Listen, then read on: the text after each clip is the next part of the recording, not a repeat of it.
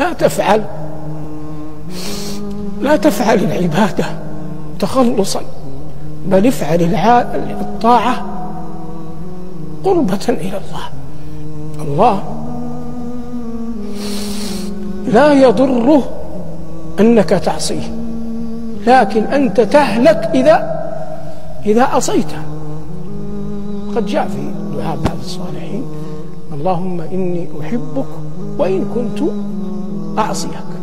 الصحابي الجليل عمرو بن العاص لما حضرته الوفاة قال اللهم لست بريئا فأعتذر ولا قويا فأنتصر ولكن لا حول ولا قوة إلا بك.